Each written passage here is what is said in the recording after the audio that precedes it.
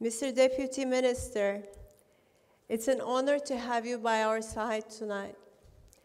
Dear guests, friends, I'm honored. I'm honored this morning to have you here and to present Maya Vakfı. It's a great pleasure to be here as the founder president of Maya Vakfı amongst all of you. And I welcome you, my panelists, and I commend for all your good work that you all do. I welcome also our contributions that we've been made by our Cengiz Bey and all the workers that, you know, the, the organizers. We're here today to collectively learn about share ideas on the subject of the use of technology. I'm personally here to share my experience as the president of Maya Vakf Foundation. Maya was founded with a dream, and this dream of a productive society, open to exploration, helping others, and filled with healthy individuals to have an, a free childhood and safe individuals who have had a free childhood in their September 2014. Maya works through main four pillars. One is MHPSS program. It's a psychosocial support program for children and refugees and host community. The second is trauma-informed schools. The third is capacity building for psychosocial support program and the fourth is volunteer program.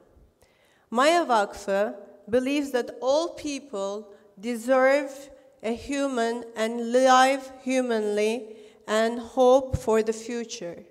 Therefore, contributes to the mental, physical, and academic development of children. And young people that we work with are between the age 5 and 18. The foundation supports them toward realizing their potential, expressing themselves freely, developing creative thinking skills, and becoming productive. We carry out extensive programs with the contribution of local, international funds while collaborating with private and public institutions. Maya places disadvantaged and traumatized children at the core of its activities. And we strive to increase the sensitivity and capacity of the people and institutions and children that interact with. We can speak of all the injustices that suffered by people who have been forcibly displaced all day long. Today, the number of refugees Asylum seekers and displaced people worldwide are simply staggering. When we dehumanize these populations and don't offer hope, we lose out collectively as humankind. This dehumanization of the other concerns all of us, but is preventable. Whilst their circumstances are extraordinary, many of the concerns of refugees are ones that would be familiar to people everywhere that are still in need of many services like emergency relief aid, service access to education, mental health, psychosocial services, housing, referrals, their civil rights, finding employment. We have amongst you a lot of people here that I know of that have contributed immensely to those needs.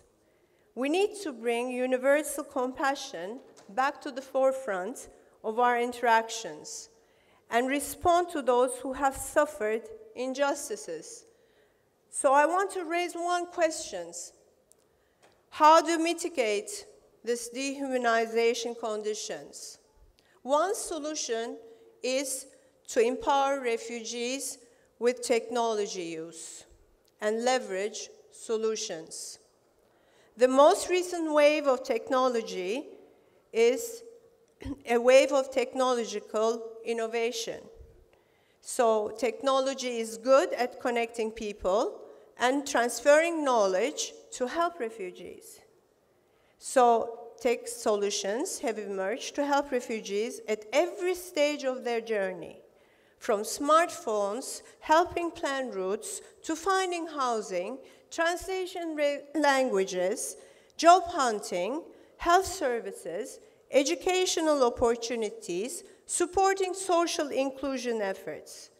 Tech helps scale up response, improve collaborations between NGOs, offer solutions where there are gaps. Today, we have the opportunity to combine the best practices in human-centered design with informed technology choices to build new products, the map over the social technology of aid in ways to empower individuals and strengthen communities. I'm aware too that the technology does not come without detractors.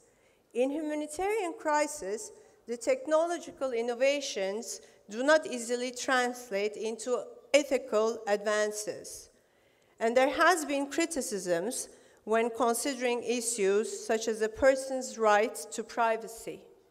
Nevertheless, aid agencies have shown that technology can be combined with ethical practices in order to move towards a more flexible and human-driven relief system. It's already being used to improve refugees' access to finance and to support their individual autonomy. Innovation helps overhead costs and reduce the role of financial intermediaries, which means that more funds can go to more beneficiaries. Applied responsibility technology can give humanitarian ethical ideals to new life.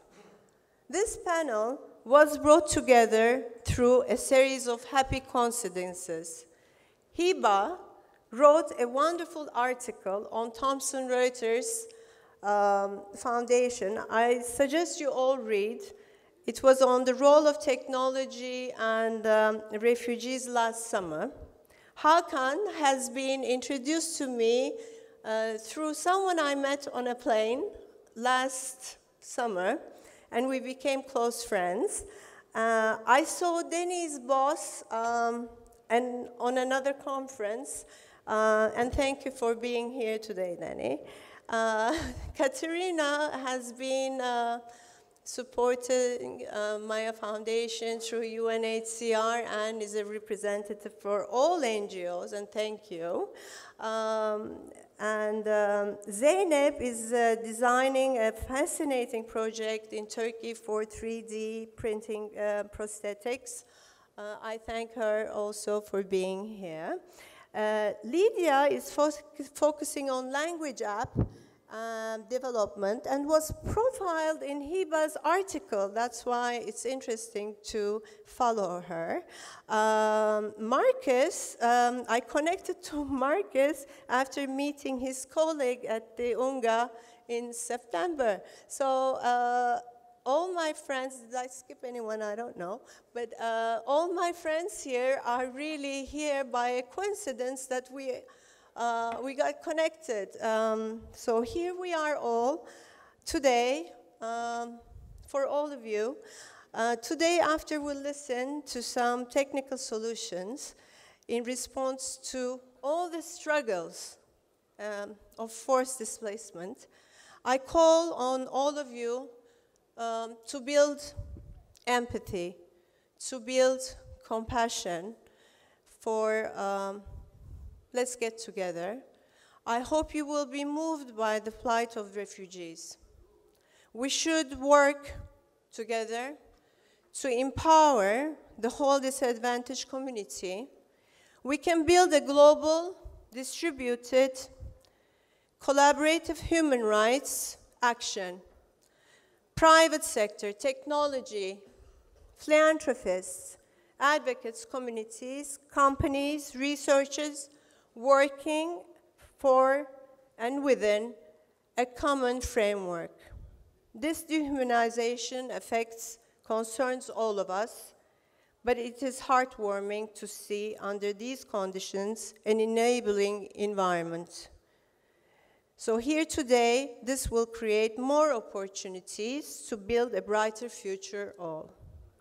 I know many of you in this room, you work in the field to make sure and to make a positive contribution in this major problem of humanity.